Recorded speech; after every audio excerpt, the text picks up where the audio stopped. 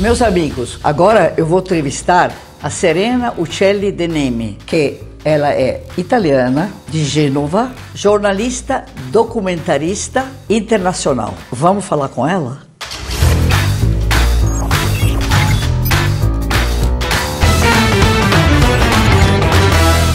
Serena, como vai você? Tudo bem e você, querida? Eu tô ótima, graças a Deus. Que bom que a gente se vê, pelo menos com o Skype, porque olha, tá difícil ficar longe dos amigos, você não acha? É, eu desde o carnaval que eu tô praticamente fechada, digamos assim. Não, fechada de verdade, né? Eu não vejo ninguém, só vejo assim no Skype, no no celular. De vez em quando saio para dar um passeio, tá?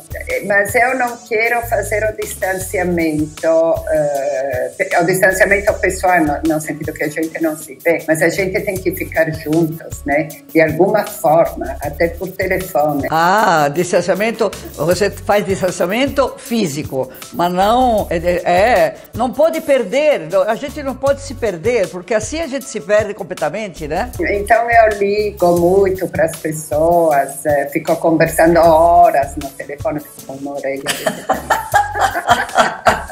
Mas é, de qualquer maneira é gostoso. Mas é, é, muito cruel. Você não acha muito cruel tudo isso? Eu acho triste porque é uma coisa que a gente não, não ainda agora eu acho que ninguém sabe o que é. O problema é isso, que ninguém sabe o que, que é esse problema, que é, é esse vírus. Isso da ansiedade. Então a gente não entende, né? Me conta, o que, que você está vendo hoje em dia de arte, de cinema? O que, que você está vendo? Então, eu tô sempre mais estou me apaixonando para histórias verdadeiras. Né? É, eu também, eu também. Aquele fantástico Nada Ortodoxa que eu li. Muito boa. O livro é mais completo ainda porque conta exatamente, é quase um diário e foi esse diário que fez com que ela, a escritora, conseguiu a guarda do filhinho dela. Porque na realidade ela fugiu fugiu, não grávida, ela fugiu com um filhinho de três anos. O juiz, lendo esse livro, etc., deu a guarda para ela lá em Berlim. Isso, esse filme foi o primeiro dessas séries de, de filmes é. sobre esse tipo de...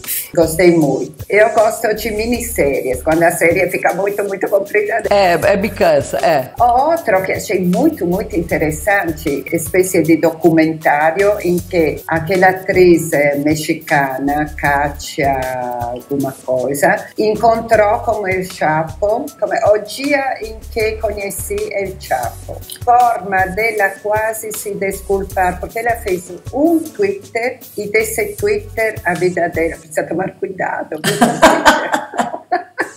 Desse Twitter a vida dela mudou completamente. Primeiro teve que fugir do, do México. Com cara e coragem fui para Los Angeles. De Los Angeles, El Chapo entrou em contato com ela, porque nesse Twitter ela tinha falado uma frase até meio cretina. Ah, não aguento mais esse governo, até prefiro El Chapo, que pelo menos ajuda o povo, né? Dá dinheiro para o povo. O governo promete, promete e não dá nada. Ela escreveu uma bobagem assim no Twitter Twitter. Ela era uma atriz de novela muito famosa, então o Twitter dela tinha um certo relievo. Mas aí o Chapo mandou o advogado dele conversar com ele, com ela dizendo que queria fazer um filme. Ele tinha acabado de fugir da prisão, é, dizendo que então estava foragido, tudo isso, dizendo que queria fazer um filme sobre a vida de, dele para ela, que queria que ela fizesse esse filme. E o Chapo se apaixonou, talvez já estava apaixonado por essa atriz atriz.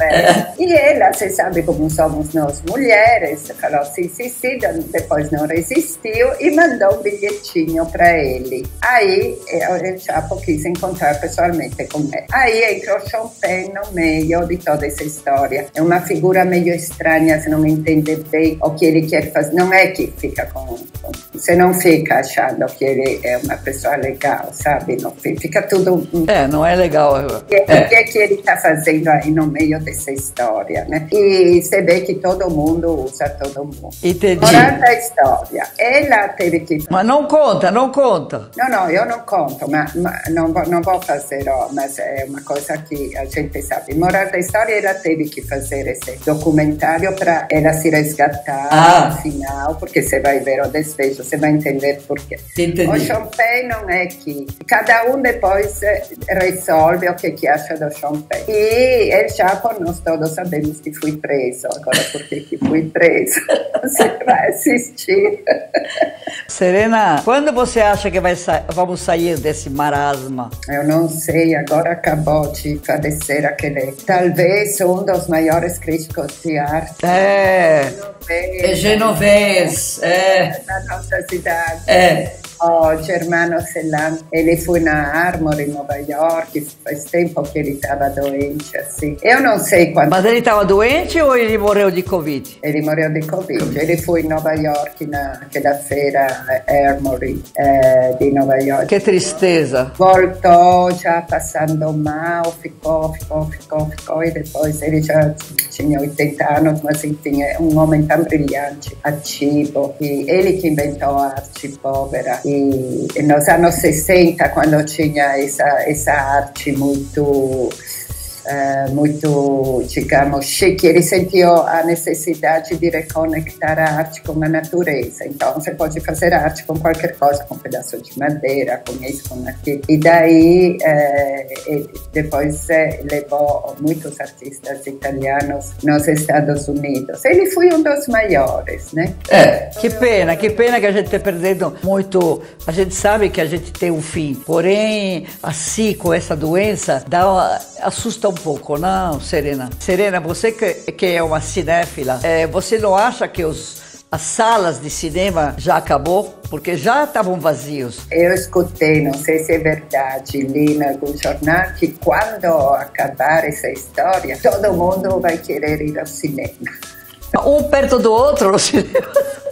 Não, com distanciamento, né? Os aviões também. Como é que vai ser os aviões? Não vai colocar todo mundo que nem sardinha, que nem antigamente. É, Você vai precisar comprar três lugares. Você fica no meio e deixa dois lugares do lado, né? E colocam um negócio de plástico, né? É, é de plástico. ter que rever, já está reformando, eu estou recebendo isso, daquilo, que, que fala que está revendo toda a decoração interna para deixar mais espaço para colocar plástico. Oh, meu Deus do céu. Quando que nós vamos viajar de novo? Quem sabe?